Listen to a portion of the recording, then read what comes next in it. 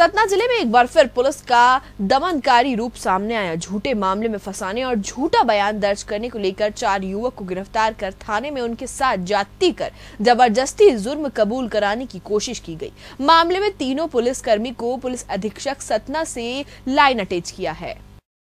सतना ज़िले के जेतवारा थाना में तीन पुलिसकर्मियों ने बजरंग दल के चार युवक को उनके घर से थाने ले आए और उनको झूठे मुकदमे में फंसाने का प्रयास किया। लेकिन जब चारों युवकों ने बयान देने से मना कर दिया तो पुलिस अपनी जाति में उतर आई और चारों युवक को थाने के अंदर बंद कर बेरहमी से मारा और जुर्म कबूल करने के लिए बोला।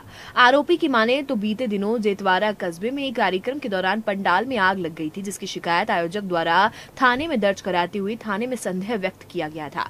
इसी बात को लेकर पुलिस ने चार युवक को बीते दिन दोपहर एक बजे उनके घर से ले आई और उनके साथ बेरहमी से मारपीट की। हालाँकि इस मामले में जब बजरंग दल के लोगों को भनक लगी तो सभी लोग इकट्ठा होकर थाने पहुंचकर चारों युवकों को छुड़ाया।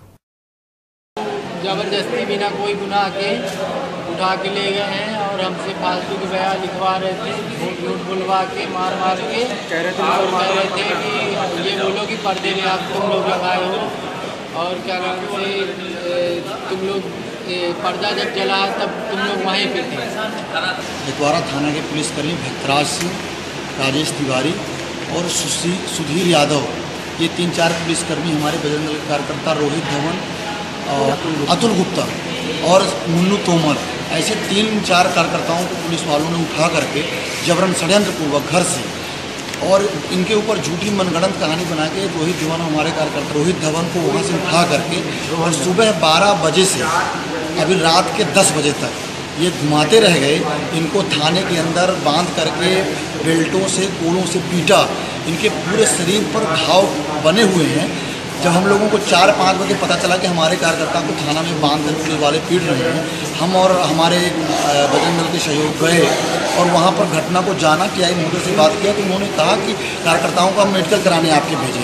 जबकि वो थाना में सिर्फ़ हम लोगों को गुमराह करने के लिए कभी जयद्वारा, कभी कोठी और कभी सतना यहाँ से उनका मेडिकल करा ले गए।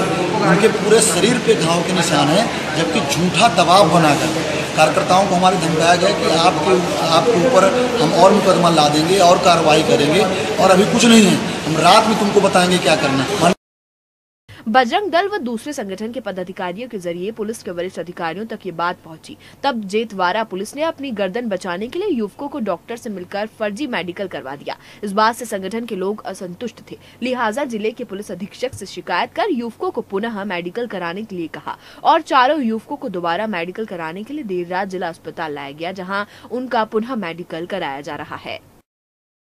जैतवारा पुलिस में तीन लोगों को एक प्रधान आरक्षक और दो आरक्षक हैं जिनको निलंबन किया गया है। उनके द्वारा मारपीट करने का पूछताछ पूछताछ के दौरान एक मामला प्रकाश में आया है और उसमें आगे की जाँच उनको निलंबित करके हटा दिया गया है। आगे की जाँच एसडीओपी के द्वारा की जाएगी